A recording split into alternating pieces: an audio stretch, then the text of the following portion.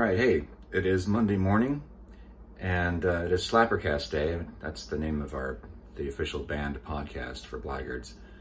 Uh, Patrick and I, Patrick, the lead singer Blaggards, and I just recorded a show. And now I've got to go edit it, but I wanted to get something out quickly, and I really I want to update this channel a lot more often. And I'm still trying to figure out what my game plan is going to be. But this seems like you know there's people say who are, who are trying to lose weight, you know, they say it's good practice to weigh yourself as often as, as, as you can, um, every day, preferably, so you can keep an eye on things. And I kind of think maybe I should update the channel just about as often as I'm weighing myself. And uh, no, no new weight to report.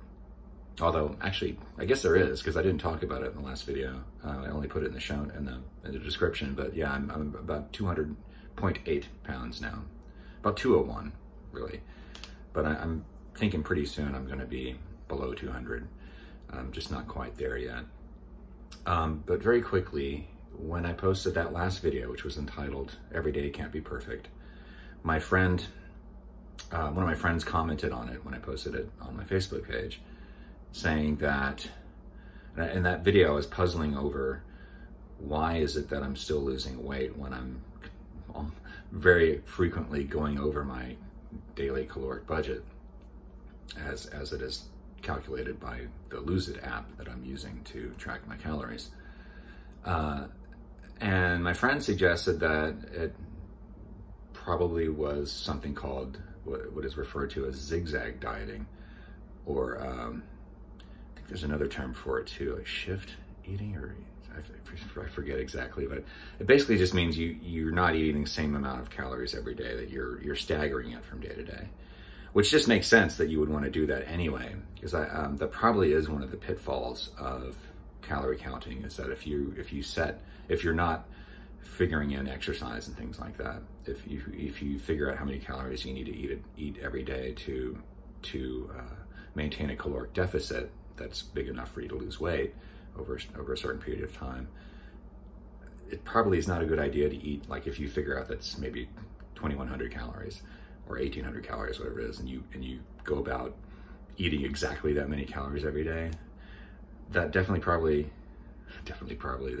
probably not as a good idea because there is apparently this thing called adaptive thermogenesis that happens in our metabolisms where your body will once you've reduced your, your caloric intake to a certain amount, your body will adjust to it and your rate of fat loss will either slow down or stop or both. Um, so the, the, from the limited understanding I have of it right now, because I haven't had time to go and research this, that uh, if you're staggering your calories from day to day, some days you eat 1800, sometimes you eat 1900, a little bit less, a little bit more, maybe sometimes a lot more. Um, that'll keep your body on its toes, as it were, and you won't, um, you, so you won't plateau. Um, so I don't know. the the thing is that the people who, that from the little bit I've had a, had a chance to look into, the, the people who are touting uh, zigzag dieting as a thing, they're not recommending, they're not saying it's okay to go over budget all the time, which is what I've been doing. So in fact, I, I, probably should put some screenshots, and I don't know if it's going to be this video, but at some point I want to show you exactly what my my uh, what my charts look like from over the past few months. And on average, I've been over calorie, I've been over budget like almost the whole time. And it's not from day to day, but just on average, like since the only months the only months were that were I was consistent or on average where I was under budget or on budget, under on or under budget was in uh, July and August, the very first two months that I was doing this. Ever since September, I've just been all over the place. So I don't know. I'm, I'm still kind of puzzled as to why this is still working.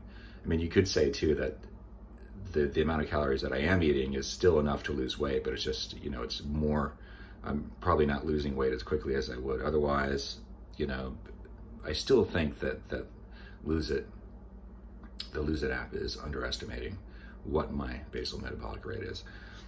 I, I can't think of any other consistent or any other ex explanation that really covers the whole story. So, um, another thing, i will get to get into this in another video, but another thing that I've been toying with is, is intermittent fasting, which there has been a lot of science done uh, uh, behind that, or yeah, there have been a lot of studies on that to um, to support it, and I'll get more into that later. But um, I've been sort of embracing the principles of, of intermittent fasting here and there, without actually completely adhering to it. That's basically what I'm going to get around to. Is like, okay, so maybe I am zigzag dieting a little bit. Am I going to go and actually embrace the principles of zigzag dieting or, or actually practice it strictly?